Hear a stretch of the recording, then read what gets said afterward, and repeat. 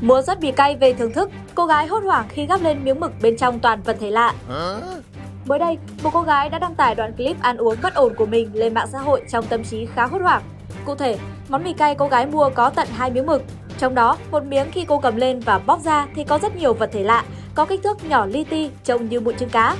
Mực không phải là món ăn lạ, tuy nhiên hiện tượng mực có mụn thế này thì có lẽ là lần đầu tiên chúng ta được nhìn thấy. Ôi trời ơi!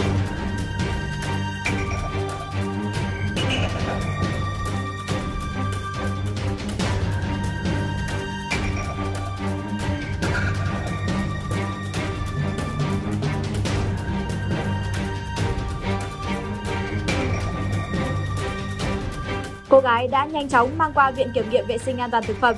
Nhưng rất tiếc lại nhận được phản hồi rằng không làm được xét nghiệm xem đó là gì.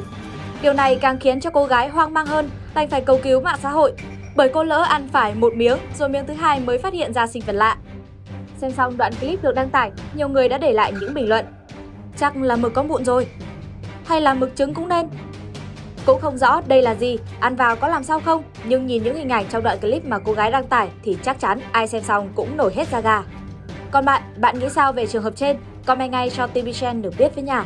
Đừng quên nhấn đăng ký theo dõi kênh để ủng hộ cho TV Chen và cập nhật thêm nhiều tin tức thú vị mỗi ngày nhé!